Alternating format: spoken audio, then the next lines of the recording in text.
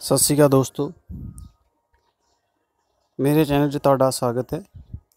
ਜੋ meritorious school ਦਾ paper ਹੋਇਆ ਸੀ plus 1 ਦੇ ਐਡਮਿਸ਼ਨ ਲਈ, ਉਹਦਾ ਰਿਜ਼ਲਟ ਥੋੜੇ ਦਿਨ ਪਹਿਲੇ ਅਨਾਉਂਸ ਕੀਤਾ ਸੀ ਸੋਸਾਇਟੀ ਨੇ। ਬਟ ਉਹਦੇ ਵਿੱਚ ਕੁਝ ਵਿਦਿਆਰਥੀ ਰਹਿ ਗਏ ਸਨ ਜੋ ਵਿਦ ਹੈਲਡ ਰੱਖੇ ਸੀ। ਤੇ ਵਿਦ ਹੈਲਡ ਦਾ ਅੱਜ ਰਿਜ਼ਲਟ ਅਨਾਉਂਸ ਕਰ ਦਿੱਤਾ ਹੈ। ਇਹਨੂੰ ਕਿਸ ਤਰ੍ਹਾਂ ਦੇਖਾਂਗੇ?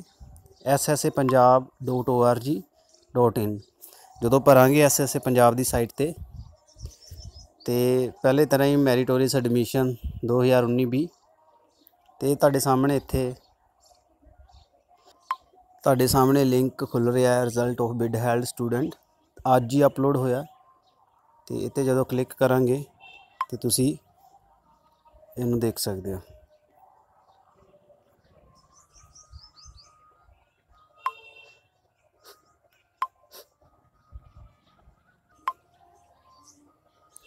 ਤੇ ਜਦੋਂ ਉਹਨੂੰ ਓਪਨ ਕਰਾਂਗੇ।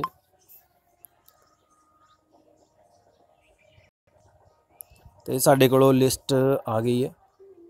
ਤੇ ਇਹਦੇ ਵਿੱਚ ਤੁਸੀਂ ਆਪਣਾ ਨਾਮ ਜਾਂ ਡੇਟ ਆਫ ਬਰਥ ਜਾਂ ਫਾਦਰ ਨੇਮ ਦੇ ਹਿਸਾਬ ਨਾਲ ਦੇਖ ਸਕਦੇ ਹੋ।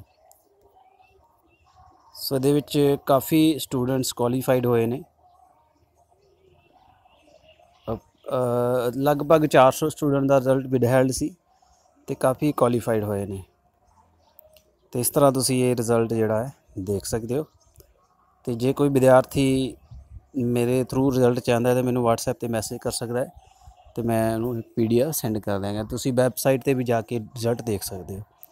ਥੈਂਕ ਯੂ ਵੈਰੀ ਮੱਚ ਤੇ ਕੁਝ ਦੋਸਤ ਕਹਿ ਰਹੇ ਸੀ ਸਰ ਕਾਉਂਸਲਿੰਗ ਦਾ ਪਤਾ ਨਹੀਂ ਚੱਲ ਰਿਹਾ। ਤੇ ਉਹਨਾਂ ਨੂੰ ਮੈਂ ਦੁਬਾਰੇ ਫਿਰ ਦੱਸਣਾ ਚਾਹੂੰਗਾ ਵੀ ਜੋ ਸਿੱਖਿਆ ਦੇ ਖੇਤਰੀ ਦਫ਼ਤਰ ਜੋ ਹੈੱਡਕੁਆਟਰ ਹੈ, ਹਰੇਕ ਜ਼ਿਲ੍ਹੇ ਦੇ ਵਿੱਚ ਹੁੰਦੇ ਆ, ਉੱਥੇ ਜਾ ਕੇ ਪਤਾ ਕਰ ਸਕਦੇ ਹੋ।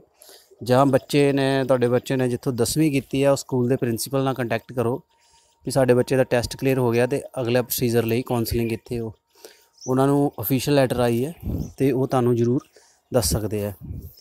ਤੇ ਜਿੱਦਾਂ ਹੀ ਮੈਨੂੰ ਕੋਈ ਕਲੀਅਰੈਂਸ ਮਿਲਦੀ ਹੈ ਸੈਂਟਰ ਦੇ ਬਾਰੇ ਮੈਂ ਤੁਹਾਡੇ ਨਾਲ ਸ਼ੇਅਰ ਕਰ ਦਿਆਂਗਾ। ਥੈਂਕ ਯੂ ਵੈਰੀ ਮੱਚ ਤੇ ਗੁੱਡ ਲੱਕ